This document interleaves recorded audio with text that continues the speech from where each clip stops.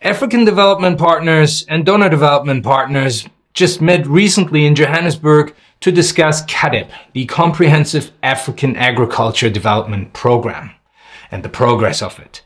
Now, part of this meeting was a presentation on a stock taking that had been taking place around aid flows.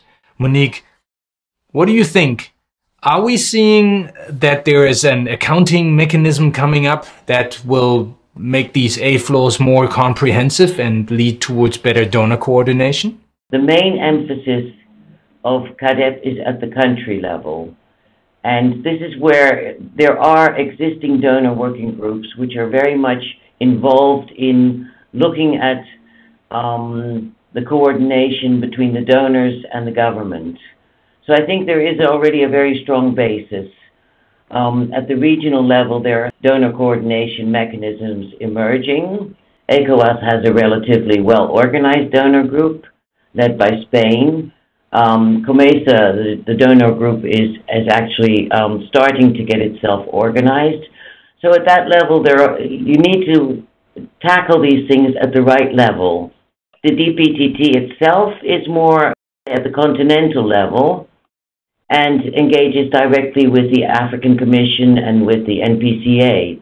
If you look at the Catching the Picture um, PowerPoint, you see the uh, uh, you see a real big mess of all kinds of donors doing all kinds of things with these institutions. From that, we have to draw the conclusion that it's time we got our acts together. Are there any mechanisms on the horizon that could contribute to transparency, to accounting, and maybe to better coordination? I spoke to Jeff Hill in December, and he was talking about new game changers, system changers.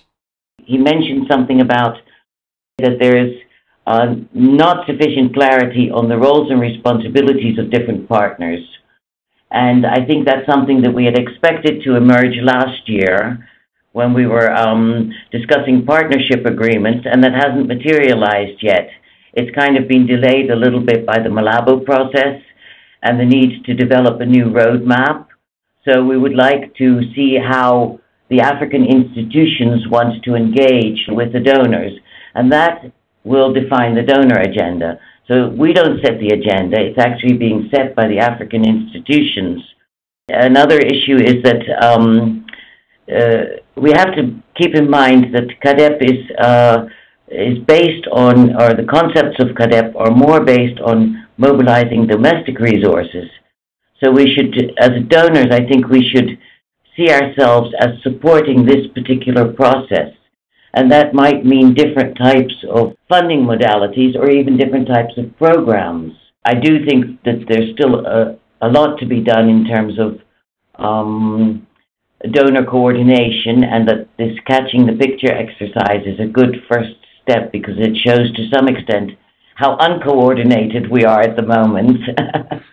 the stock taking exercise had also found that more than 50% of the aid flows are actually bilateral. Do you see that coming, that there is more coordination around the bilateral funding flows? I think it's, it's more a question of, uh, uh, together with the agency, and the donor group of checking to see whether these these funding flows are actually well aligned with the CAADP uh, results framework, with the CAADP processes, and that uh, there is regular dialogue on this. And then we can see which funding modality would be the most appropriate. And let's face it, donors are also, they have their own policy agendas, so they might make particular choices that um, you know that do definitely tie in with uh, with the CAADP processes that are definitely coordinated with other donors, but uh, that use the funding, the bilateral funding channel. Now that the MDTF has not been renewed for the time being, African institutions are obviously quite worried that the capacities that they have slowly built up cannot be retained. Are there any mechanisms inside to replace the functions of the MDTF? Well, for the time being, we are discussing um, what what the time frame would be for certain institutions to um, make sure that they have the the necessary resources to continue the process at their levels. We had a discussion, for example, with COMESA, and they said they are now um, in the process of, of um, putting the CAADP unit or into their core institution. Some institutions, such as ECOWAS, have never really made use of the multi-donor trust fund because they they have a certain level of domestic resources. So it differs between each with each institution. Through the European Commission, a lot of funds are already flowing to these institutions.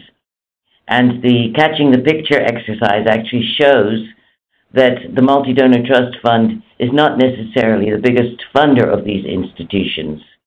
So there were no specific requests for filling uh, some particular funding gaps?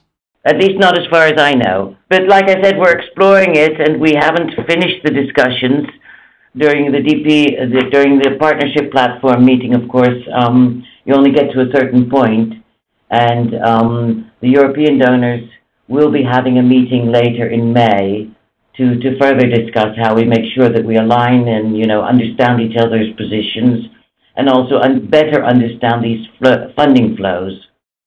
Wouldn't it be better to actually coordinate early on before everything is set into plans? Do you know of anything on the horizon that somebody's attempting to change that? I mean, obviously, the, the, the one thing that is on the horizon is the implementation of the Malabo roadmap.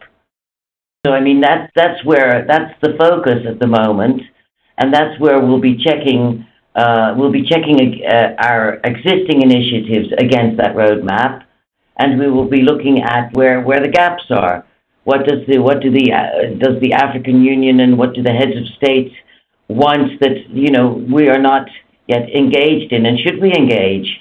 And so we're reviewing our existing programs to see our what are we doing now at the moment to support this, and we are trying to develop, let's say, a new um, collaborative effort with a number of other donors in uh, West Africa to say, okay, you know, how can we build up programs together to with the with ECOWAS and with UMOA or WAMU as it's called in uh, in English um, to support that ambition.